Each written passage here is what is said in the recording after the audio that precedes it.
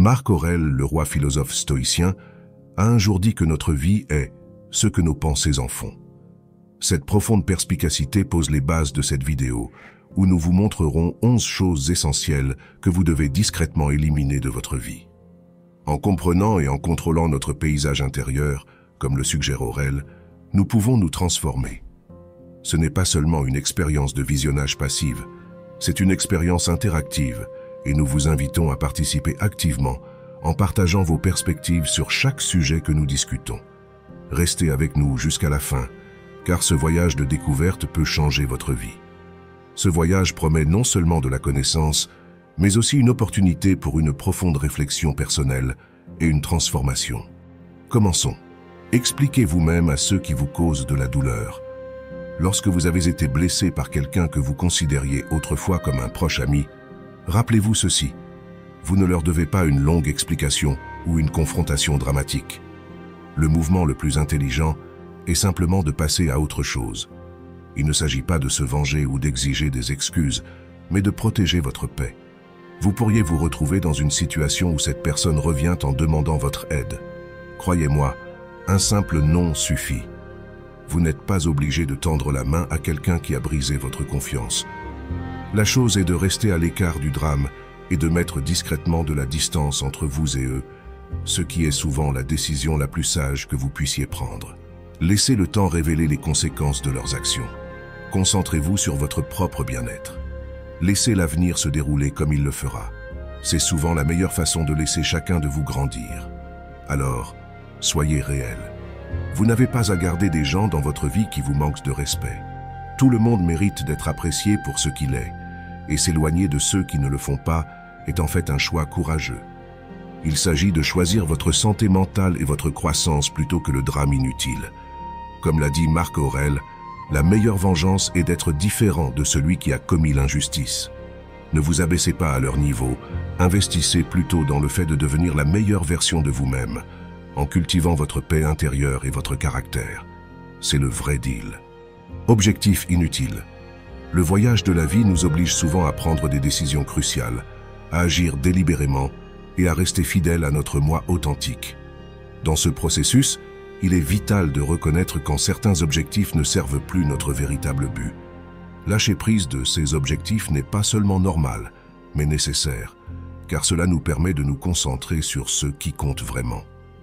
Cependant, un aspect important de ce processus est la discrétion dans la manière dont nous le faisons. Évitez de diffuser chaque changement ou décision. Il n'est pas nécessaire de partager chacun de vos mouvements avec le monde. Cette prudence aide à sauvegarder votre stratégie globale et vos intentions alors que vous naviguez à travers ces, changements. Faites ces ajustements discrètement, en vous adaptant au fur et à mesure que les situations se déroulent, tout en valorisant toujours le pouvoir de la vie privée dans vos choix de vie stratégiques. Cette approche non seulement simplifie votre chemin, mais maintient également l'intégrité de votre parcours personnel. Comme l'a dit Sénèque, un philosophe stoïcien éminent, ce n'est pas que nous avons si peu de temps, mais que nous en perdons beaucoup. La vie que nous recevons n'est pas courte, mais nous la rendons telle. Nous ne sommes pas mal pourvus, mais utilisons ce que nous avons de manière gaspilleuse. Cette citation résonne profondément avec le concept de se concentrer sur des objectifs essentiels et de lâcher prise de l'inutile, nous rappelant d'utiliser notre temps et nos efforts judicieusement. Trop partagé. La fin des relations, qu'il s'agisse d'amitié ou de romance. Lorsque vous naviguez dans la fin d'une amitié ou d'une relation amoureuse, maintenir la discrétion sur les détails intimes est primordial. Partager des spécificités sur les conflits ou les raisons d'une rupture non seulement manquent de respect à la vie privée partagée entre vous et l'autre individu, mais alimentent également des commérages inutiles, compliquant davantage la situation. Au lieu de cela, il est plus bénéfique d'internaliser et de réfléchir sur ces expériences. Cette pratique non seulement honore la vie privée des deux parties, mais facilite également un processus de guérison personnelle plus profond. Si vous vous sentez obligé de discuter de ces affaires personnelles, cela peut être un signe de problèmes émotionnels non résolus. Au lieu de chercher des exutoires externes, engagez-vous dans un dialogue intérieur pour comprendre et traiter ces sentiments. Cette approche garantit que toute relation problématique est résolue avec dignité, sans en faire un sujet de discours public. En faisant cela, Vous protégez votre bien-être émotionnel et celui des autres impliqués, favorisant un parcours de guérison plus respectueux et discret. En abordant la fin des relations de cette manière, vous préservez votre bien-être émotionnel et celui des autres, tout en honorant la confidentialité et la dignité de chacun. Comme l'a dit Marc Aurèle, un philosophe stoïcien, vous avez le pouvoir sur votre esprit, pas sur les événements extérieurs. Réalisez cela et vous trouverez la force. Cette citation résonne profondément avec l'idée de se concentrer vers l'intérieur et de contrôler nos réactions aux situations extérieures, en particulier dans le contexte délicat des ruptures de relations. Élevez votre voix devant les autres. Pendant les périodes de frustration ou de colère, imaginez que vous êtes dans une réunion tendue, votre cœur battant de frustration. Nous avons tous été là, n'est-ce pas? Dans ces moments, la tentation de laisser éclater notre colère est immense. Mais que se passerait-il si, au lieu de cela, nous choisissions de parler doucement, de canaliser cette énergie ardente non pas en cris, mais en mots calmes et stables? Il ne s'agit pas seulement de sauvegarder les apparences, mais d'un voyage vers la maîtrise de nos tempêtes intérieures. Repensez à un moment où vous avez vu quelqu'un perdre son sang-froid. Comment cela vous a-t-il fait sentir? Mal à l'aise, voire déçu? Maintenant, imaginez quelqu'un qui, malgré le chaos, est resté serein, sa voix un havre de calme.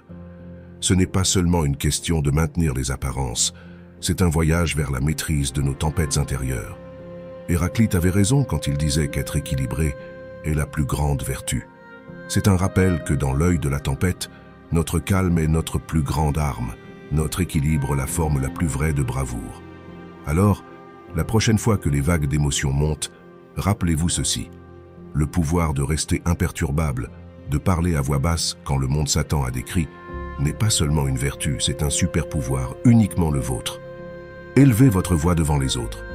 Pendant les périodes de frustration ou de colère, imaginez que vous êtes dans une réunion tendue, votre cœur battant de frustration. Nous avons tous été là, n'est-ce pas? Dans ces moments, la tentation de laisser éclater notre colère est immense.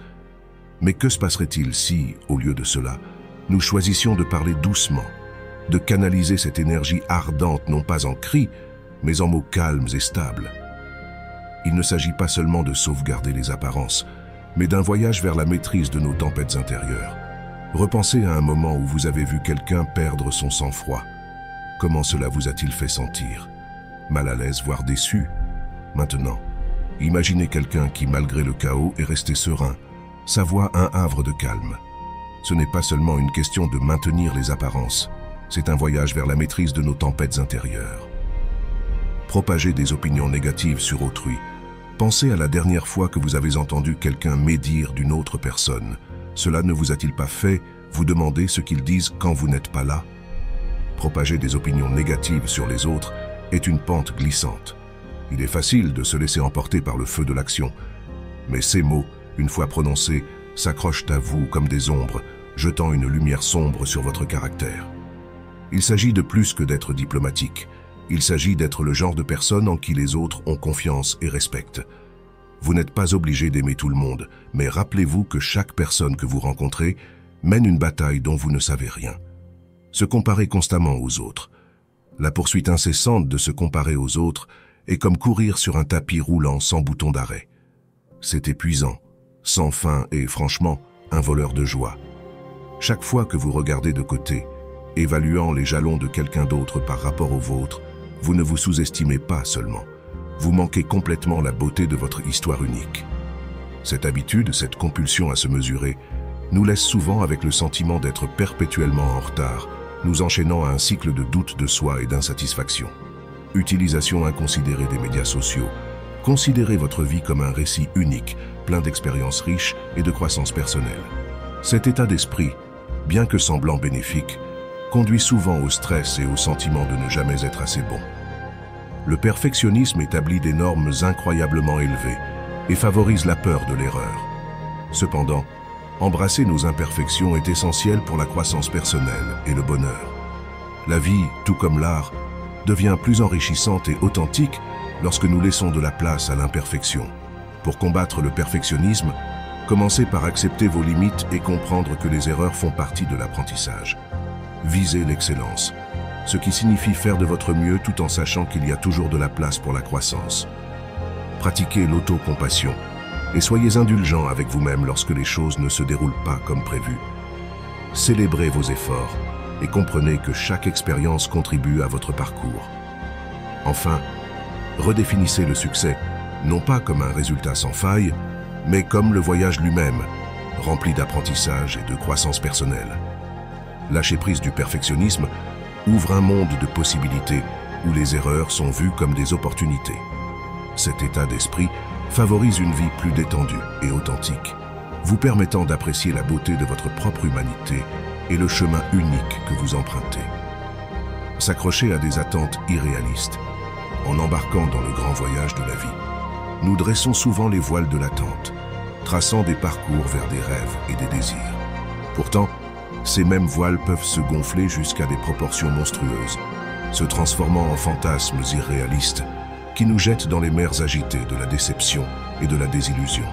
Comme des marins attirés par des sirènes mythiques, nous poursuivons la perfection en nous-mêmes, chez les autres et dans nos expériences, une quête aussi vaine que de chercher des horizons qui reculent à mesure que nous approchons. Ceux attentes gigantesques, souvent nées des murmures de la société et des rugissements des médias, peuvent nous aveugler à la beauté de notre moi authentique et à la réalité brute et non filtrée de la vie. C'est un voyage de dévoilement des couches de devrait et de pourrait pour révéler le cœur de nos véritables aspirations. Il s'agit de reconnaître le poids de ces attentes et de demander courageusement si elles élèvent ou écrasent notre esprit. Ce n'est pas une transformation de conte de fées, c'est une reconnaissance parfois douloureuse des imperfections de la vie et de nos propres limitations. Il s'agit de fixer des objectifs qui résonnent avec qui nous sommes vraiment, et non avec qui on nous dit d'être. Chaque petite victoire, chaque pas en avant devient un témoignage de notre résilience dans ce voyage. La beauté réside non pas dans la destination, mais dans la riche tapisserie d'expériences tissées en chemin. Lâcher prise des attentes irréalistes ne nous libère pas seulement. Cela ouvre nos yeux aux merveilles inattendues de la vie, nous enseignant à naviguer dans ces eaux tumultueuses avec un cœur ouvert à chaque flux et reflux, à chaque joie et peine qui se présente. Participer au commérage, S'engager dans des commérages et des bavardages négatifs peut parfois sembler être un raccourci vers la connexion, mais c'est un chemin qui nous égare souvent. Pensez à la dernière fois que vous avez participé à une telle conversation. Cela ne vous a-t-il pas fait réfléchir sur la nature de ces échanges? Les commérages, bien qu'ils puissent offrir un sentiment de connexion immédiate, ont tendance à semer la discorde et à nuire aux relations. Au lieu de cela, cherchez à établir des liens authentiques basés sur le respect mutuel, et la compréhension. En évitant les commérages, vous contribuez à créer un environnement plus positif et respectueux, tant pour vous-même que pour les autres. Est-ce que participer à des commérages vous a laissé un sentiment d'élévation ou a-t-il subtilement rongé votre sens de l'intégrité? Les mots, tout comme les graines, ont le pouvoir de faire pousser des jardins ou de propager des mauvaises herbes.